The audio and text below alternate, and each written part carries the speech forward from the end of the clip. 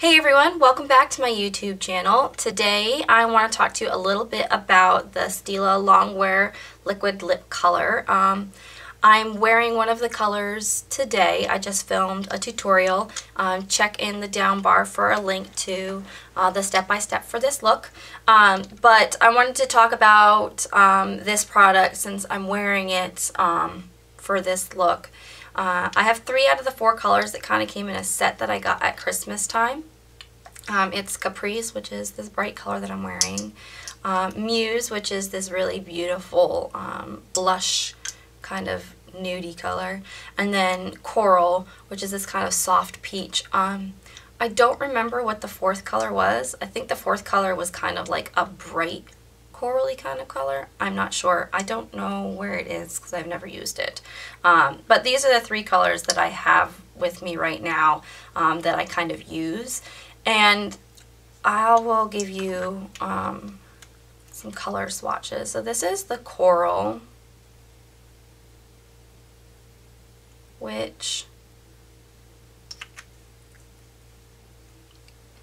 is a pretty bright color, I guess, on its own. But it's it's soft. It's not quite as soft and as muted as it looks in the tube. It does come out a little bit brighter.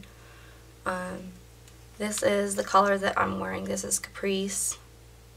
It's going to look a little different here because I do have a gloss over the top of it on my mouth right now. But there's the Caprice. And then my favorite, Muse which is this like soft mauve blush color. It comes out a little bit darker and a little bit deeper in person than it does um, in a color swatch. Um, I love the colors. Like I really, really love the colors and I love how super pigmented they are. Literally, like you just want to, you want to wipe all the excess off the, the tip um, before you put it on because um, it's super, super pigmented.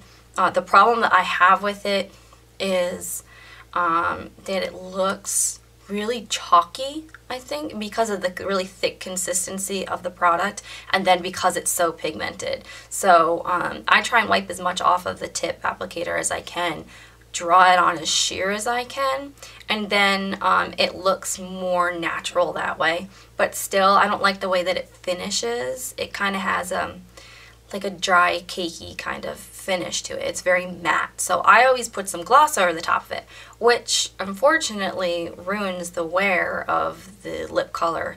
It's definitely not going to stay all day. As soon as I go and take a drink of something, um, it comes right off. Or like last night, um, I was wearing this one and I put some clear gloss over the top of it and totally forgot about it. When I went to kiss my son goodnight, I kissed him on the forehead and I kind of freaked out for a second because I didn't look at him right away, but like a few minutes later I looked and there was like this big um, red mark on his forehead and I freaked out thinking that he had like smacked himself on something.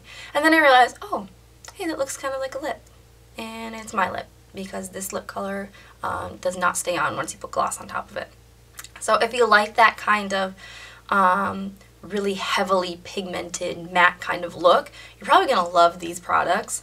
Um, this product, I should say. Um, but for me, I'm not a huge fan. But then again, when I put lip gloss on top of any regular lip color, it's going to come off anyways. And I do find that the color really does last really well. Uh, it's just not going to be as lipstick and as pigment looking. Um, and it's not going to be wipe proof or transfer proof. So that's my take on these colors uh, and the, this product. Um, these are my three favorite ones. I'm not sure if they come in other colors. I'll have to look it out online. Um, I buy all my stuff directly from Stila, so I always check their website for stuff. So there might be different things um, if they, I know they sell Stila at Sephora, but I recommend checking out their website directly.